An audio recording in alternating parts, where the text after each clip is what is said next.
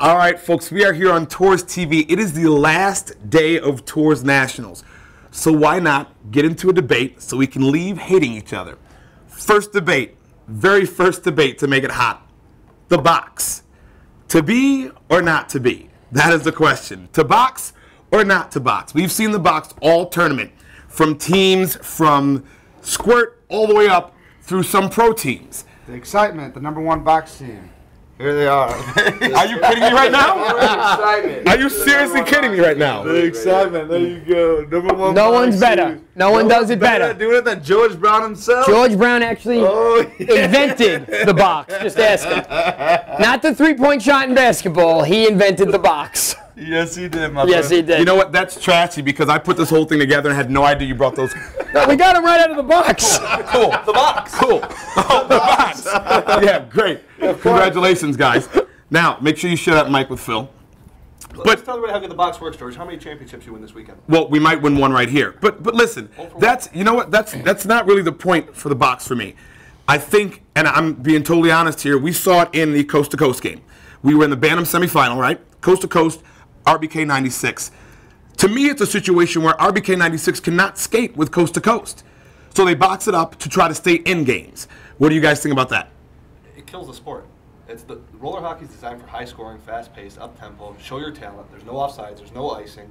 It's four on four. I watched kids in that championship game on a knee during play. Okay. We played three overtime periods and it we got set back 15 minutes. So is that is that ran is that the box's fault or the team that's bringing the puck up? both teams? Both teams. They both sat around. Then why why shouldn't coaches find a way to beat the box? There are ways to beat the box. There- Then then find them. But why, yeah, why why if get mad at the coach? Because everyone says there are ways to beat the box. Yes, there is ways to beat the box. You're going to interfere with someone. You're going to you're going to set a pick, which is all illegal to do anyway. It's not. There are four guys standing in front of the goaltender. There is no technical term. You stick a guy in front. You put some traffic there. You take bombs from the top. You set a pick. There's only so many things you can do with four guys just standing there. They're, they're not going anywhere. It's hard to do. it, it, it, for me, I just truly believe if I've got a team that, for example, my juniors, they played man because they had enough skill, speed, and talent to play man. We played man the whole tournament. We didn't make the championship there either.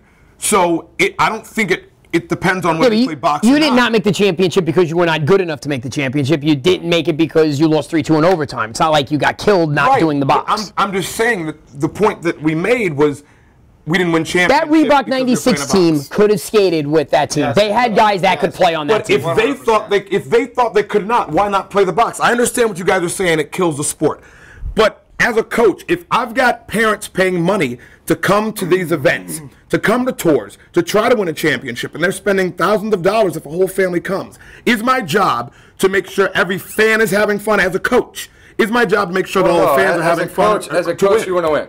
Obviously, you want to win, but you don't want to win that way. As me, as a coach, I don't want to win by sitting back and sitting in the box. That's just no fun for no one. I'm sorry. I want to win any way I can.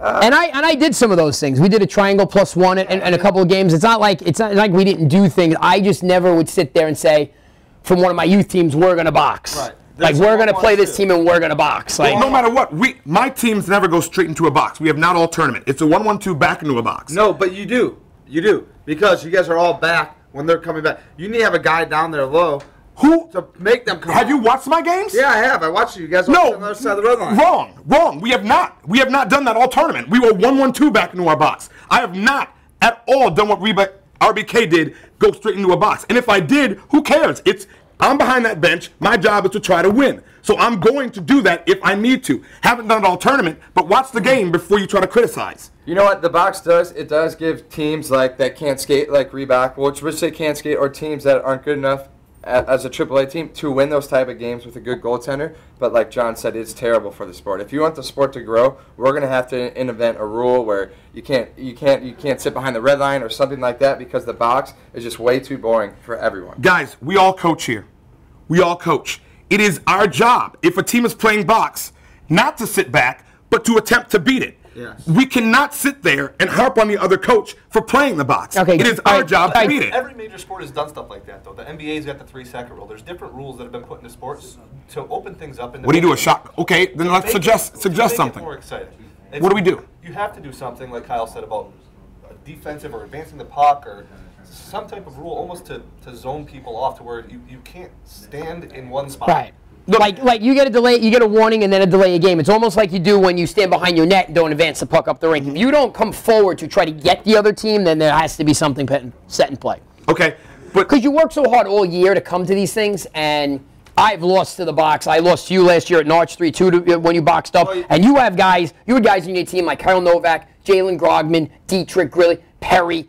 You got guys that, one, they don't want to play the box, and two, they're good enough not to play the box. I agree. They are good enough not to play the box, but I don't play the box for those guys. I play the box for my weak links because if we play man, if you play man, one person, one person gets beat, that's a goal. Well, then you do the one-one too. Well, that, It's just if you go into a Or you don't put that kid on the rink. Because when you come back into the zone, you the kid doesn't play. You No, play you're not. on man when it's the full length of the rink, because that's when you lose guys. When the guys are stretching the floors, when you lose your guy. Exactly. When they get back into the def- defensive zone, you man up. You're not gonna lose your guy. I mean, you're. How aren't you gonna lose your guy? Because you stand. It's still half the rink. player. It's not that hard.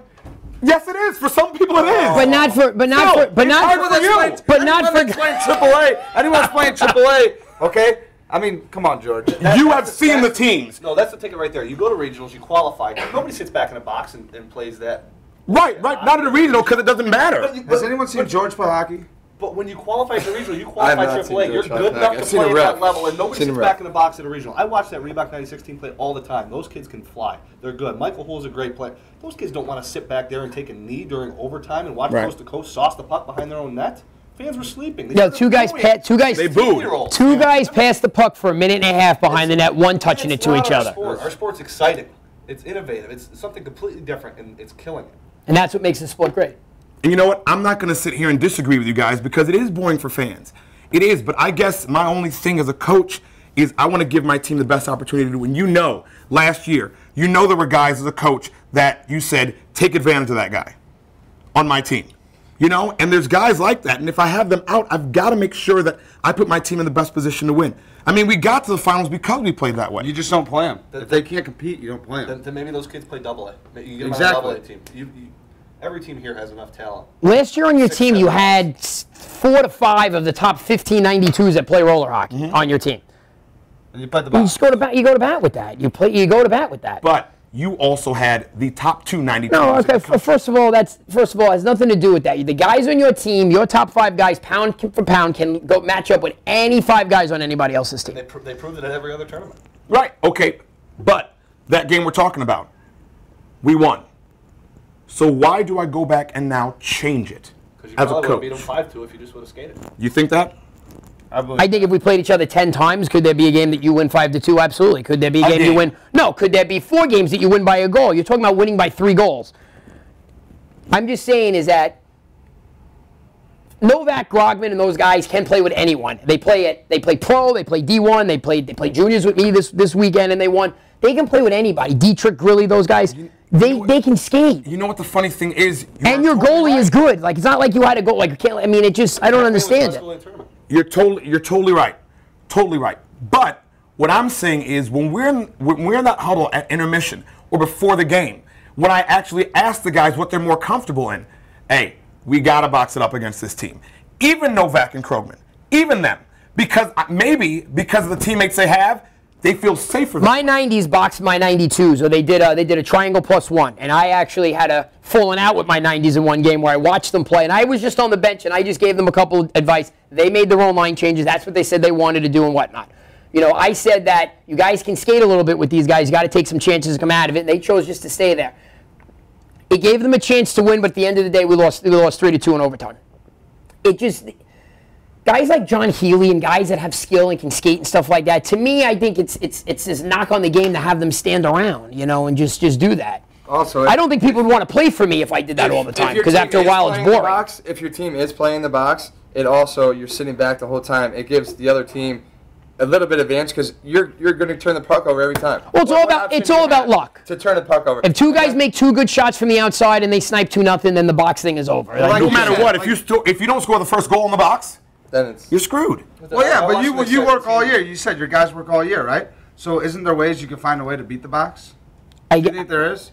Do you think you can work? Do I think there's a foolproof plan of things that you do that you're going to beat the box? now because the four I- guys I are believe tight at the is. I believe there is, and if you come up with it, too. less teams will play it. If a if If a some- coach gets in there and finds out how to beat the box and consistently beats the box, we don't have to worry about this because no now that coach has found out how to beat the box. So nobody's going to play it as much as they do because honestly, Ready? Can, Can, we I teach? Can I say- teach ten-year-old kids how to beat the box? Absolutely. But you're you're boxing at the levels of junior platinum, midget platinum, D1, and pro. It's it's not it's not easy to do. I, I think- agree. I- It's not easy to do. The snipers in pro were a much better team than the young A and E team, which is young kids, you know, playing pro, a lot of them for the first time and whatnot.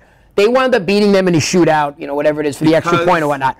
But that's the whole thing. Like they box the whole time. It's Right. just not. Yeah, it's just. It's just it's frustrating for the other team, and like you said, it's good coaching no good. No good. Could be good coaching strategy, but but it's just you know. You can come at so me. boring. That's how. That's what we're gonna do. let me ask Easy, this. Rob.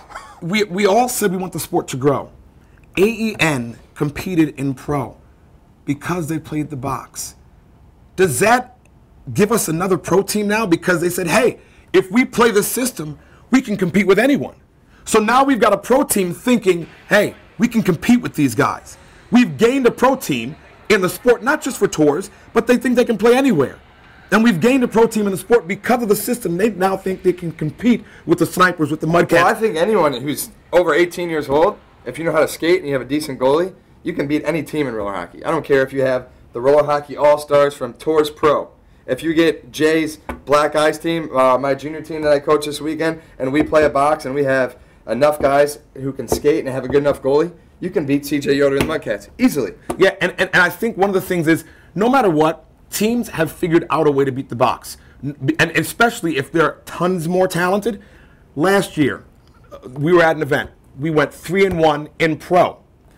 We ended up going to our final round robin game, playing the same box system, getting trounced eight to one, then playing in the quarterfinals the same box system and getting mercied in seven minutes in the first period.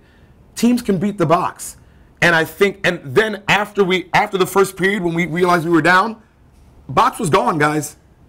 If you begin to beat the box, if you score the first goal on it, Then teams can't sit back. One of the best teams at it is FTB. If they get the first goal, they will slow the whole game down and run the whole clock out if you continue to play a box on them. My theory is if you want to beat the box, score the first goal. And win draws. You got to win draws. You know, Important. keep possession. You know, I just think. I mean, there's there are ways. There are ways. I think that more. I think the responsibility is on the coaches playing against the box to beat it, so teams cannot box anymore. and just keeping your guys ready. You know, guys get you know lazy, they get bored. You know, they're they're not having fun anymore. So you know, you have to keep them motivated, and you have to push them to you know to I make agree. things happen. I agree, but I Get think we can, zone, we can look puck. we It can look gets at it both ways. We can look at it both ways. Fans are going to look at it, and kids might not want to play the sport because oh, it's boring. They play the box in this, or we can look at it another way and say, hey, we can compete with anybody, and we've gained a pro team off of it maybe, and other pro teams that say we can compete. Let's go out and do it. Yeah, I mean, you're right. I see you both know, pro teams, you can get more pro teams, you can.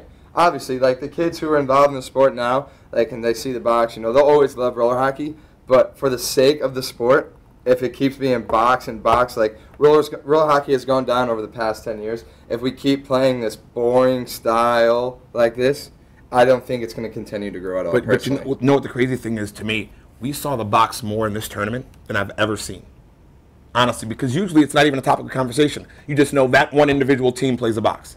Now, we see it everywhere. I think every year it goes up more and more Yeah, with teams yeah. playing the box. Because they see how successful the other teams are that are playing them. Well, it just gives yourself, it gives your teams a chance to win, no matter what. You know, it, it makes it usually a one, two goal game, and the other teams is still trying to come, and some teams will try to turn it over to you, and that gives you odd man rushes to and get more and I, goals. I think the Catch box is up. dangerous because if you're not as good as them on paper, you can stay in a game. But if you are better than them on paper, it keeps bad teams in games as well. Absolutely. You know, so I think it I think it reads both ways. But Next subject.